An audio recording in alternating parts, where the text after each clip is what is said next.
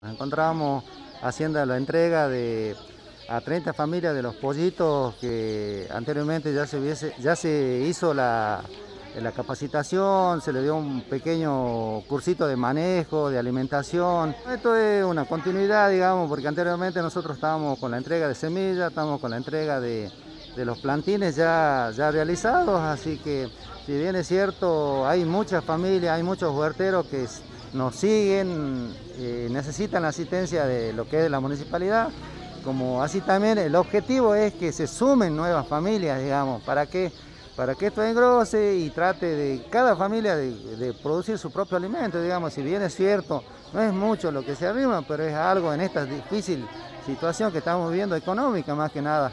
La asistencia social ahora es muy importante, el intendente Rubén Rivarola siempre nos está inculcando eso, la asistencia social en estos momentos es importantísima y se está haciendo desde el municipio, así que las familias que se quieran integrar, que quieran, se hagan presentes en el, Departamento de Espacio Verde, están la, hay una pequeña planilla, se inscriben y bueno, si quieren adquirir semillas, si quieren adquirir almácigo.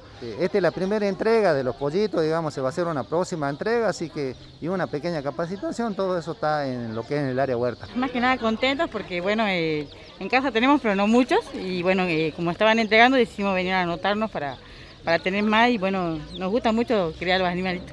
¿Ustedes tienen una huertita? Eh, sí, también, ya también recibimos eh, las semillas para la huerta porque ya tenemos nuestro espacio para hacer en la huertita que ahora ya, ya, ya, pusieron las semillas, todo eso. Mi, mi esposo, mejor dicho, con mi niño fueron a, a la capacitación que ellos son los que más se encargan de los pollitos. ¿Qué te parece esta iniciativa que tiene el municipio de realizar todo esto? Y sí, me parece muy bien porque con todo lo que pasó el asunto de la pandemia, bueno, nadie pudo progresar y ya bueno, ahora poco a poco van, vamos a, saliendo de todo esto, ¿no?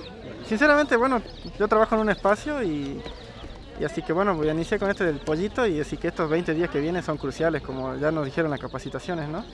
Así que va a ser un nuevo trabajo, a ver cómo va. Trae beneficios tanto a la eh, economía de la familia, también como ya dijimos, de huerta, tenemos huerta, así que también la acoplamos junto con la crianza de pollito. Y sí, comenzamos también con un espacio más bien agroecológico, ¿no? Y la verdad que es muy gratificante porque nos gusta solo la verdad la cría de los pollitos, este, nosotros somos la verdad un grupo de, mujeres porque viven en el mismo barrio, que este, nos gusta mucho la, cría de animalitos y también este, la cosecha de, verduras y vegetales para nosotros. De hecho tenemos una huerta comunitaria y compartimos algunos espacios. Eh, pues también vinimos juntas a hacer este, también acá el taller este para saber acerca de la cría de pollitos. En mi caso, este, bueno, tengo este, familia y pareja que, que me enseñó acerca de de la cría de animales y bueno, ahora es mi turno de, tener yo mi propio este, gallinero, mi propio pollito y mis propias gallinitas. Agradezco acá a la municipalidad que nos dio este, los talleres estos para la cría de pollitos y que bueno, nos, nos dan la posibilidad de, tener nuestros propios pollitos.